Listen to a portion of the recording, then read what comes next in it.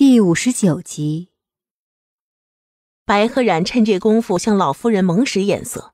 老夫人见他一个劲儿的瞅那盆花，脑筋一转，立即明白过来。于是他带着李嬷嬷往前走了几步，一直站到叶氏跟前，开口道：“今日你生辰，老身正发愁，不知道该送些什么给你，总觉着送什么都俗气。”这会儿倒是想起，不如就将这盆花送给你吧。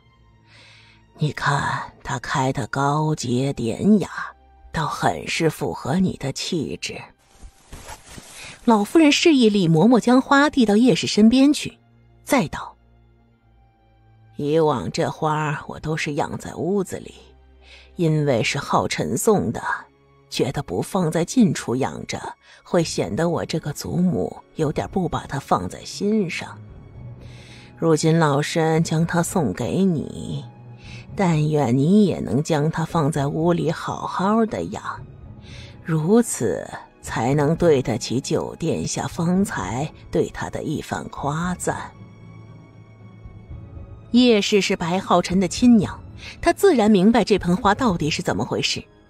见李嬷嬷将花往前递，下意识的就想躲，白鹤染却在这时又出了声，冷冷的提醒他道：“母亲再躲，可就是瞧不起这盆花了。不知母亲瞧不起的究竟是一盆玩物，还是对她十分欣赏的九殿下呢？”叶氏一机灵，正想把话顶回去，却听边上站着的江月插话道：“哟。”感情今儿个九殿下白来了，这二小姐怎么还管续弦的平妻叫母亲呢？说完，又转问白星言：“国公爷，您倒是给个态度啊！咱们东秦的律法，你到底是尊还是不尊呢？”白星岩一个头两个大，赶紧表态：“尊。”必须尊。然后眼睛一立，呵斥白鹤然：“你是嫡女，是为父发妻所生，怎么可以跟叶氏叫母亲呢？记住，以后要叫二夫人。”白鹤然笑了：“既然父亲都这样说，那女儿就恭敬不如从命了。”白星岩松了口气：“对，从命。”从命。白鹤然点点头。那么接下来咱们还说那盆花。他又看向叶氏，笑得两眼弯弯。这贺礼，二夫人是收还是不收呢？不等叶氏说话，白星言抢着就道：“收，必须得收。被九殿下赞扬过的盆栽，能被当做贺寿礼。叶氏，这是你的福分。”还不快谢过母亲！叶氏这会儿已经被琢磨的没脾气了，他也想通了，只要能先把眼前这个事儿给接过去，让白鹤染和江月别再闹腾，就比什么都好。至于今日受的这些气，他会想办法一一找补回来。白鹤染那个丫头，他绝不会轻易放过。这样想着，叶氏便顺帖多了。白星言让他谢老夫人的恩，他就谢。让他收花，他就收花，只是那花他自己绝不去碰，甚至连他的进士双环都不让碰，只随便指了个下人说：“将老夫人送的贺寿礼搬到福喜院去。”然而，他想蒙混过关，白鹤染却不是那么好打发的。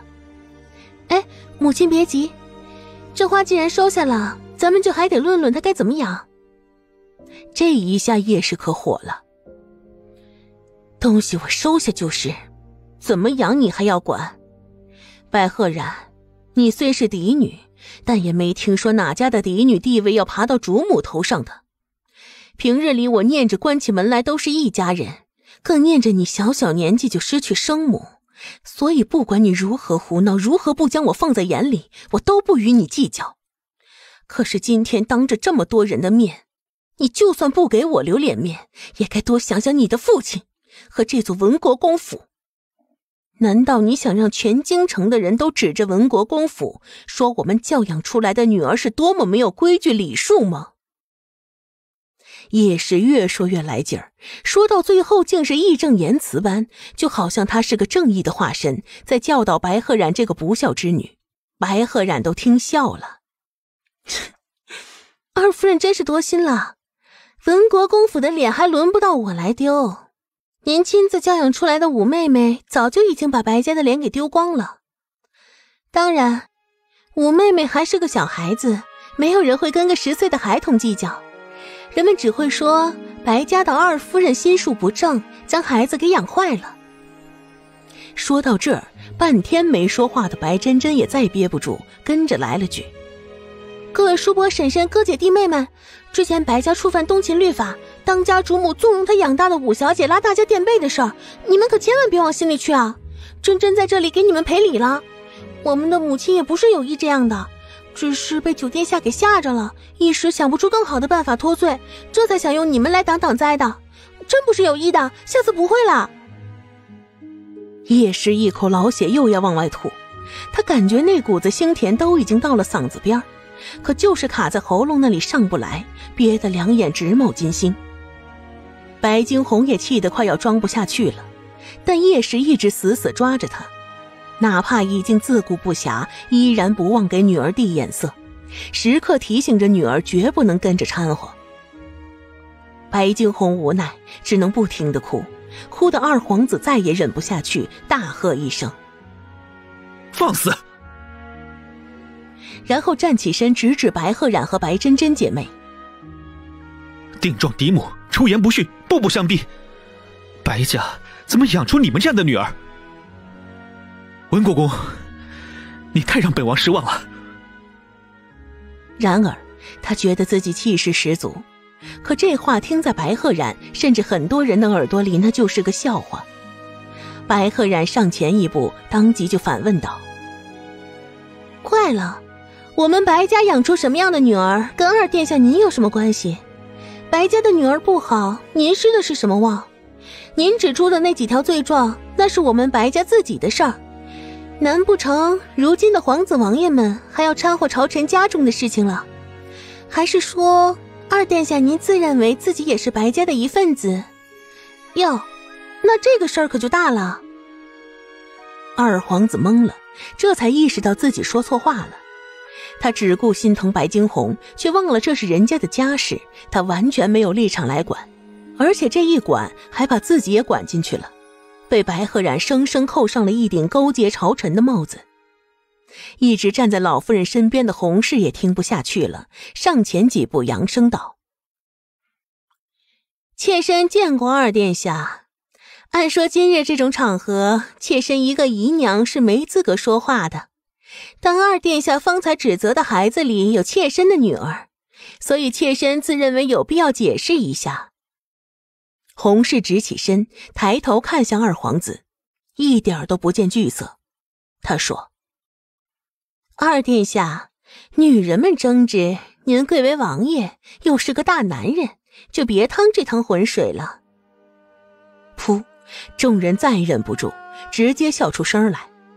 知道这二皇子真是倒了血霉了，跟一群女人计较，到头来被女人给怼得北都找不着，这不是吃饱了撑的吗？二皇子身子晃了晃，边上的工人赶紧上前去扶住。一个小太监看不下去，说了句：“敢对殿下无礼，你们是不想活了。”太监一开口，江月就有事儿干了。就听他道：“主子们说话，哪有你插嘴的份儿？来人，给我掌嘴！”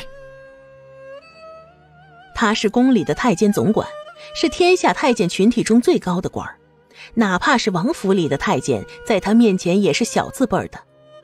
江月发了话，宫里跟出来的工人当即就冲上去抓住那个小太监，噼里啪啦就一顿扇耳光，直扇到嘴巴都肿了，方才停下来。二皇子觉得江月这不是在打太监，根本就是在打他呀，可是能怎么办呢？白家人有理，这是人家自己家里的事，他究竟有什么立场去管？坐在一边的六皇子这时开口打起圆场：“二哥，过来坐吧，女人家家的事情让他们自己解决，二哥可别跟着掺和。”二皇子顺着这个坡，赶紧退到边上坐了下来，再不敢多言。见二皇子不再吱声，洪氏便也退了回去。白鹤染却又把先前的话题给捡了起来：“二夫人，咱们还是得说说这花该怎么养的问题。”叶氏简直崩溃，这怎么没完没了了？白鹤染笑着道：“二夫人也不必诧异，我为何总提这个，实在是因为之前九殿下夸赞过这盆花。”这才让我不得不重视起来。您想想啊，九殿下是什么人呢？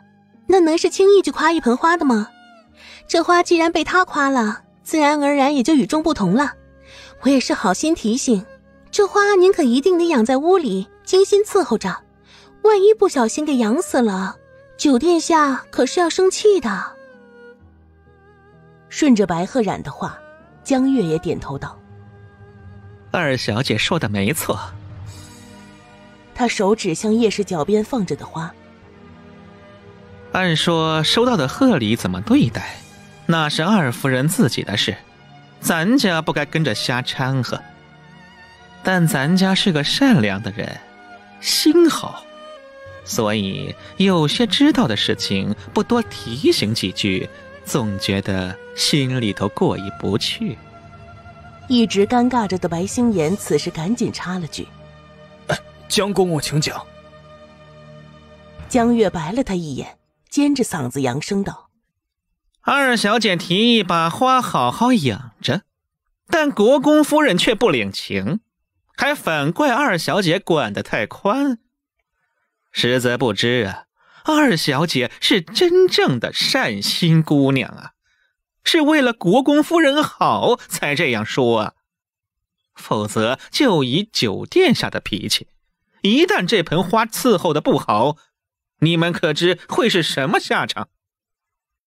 人们纷纷将耳朵竖了起来。关于九皇子的八卦，所有人都愿意听。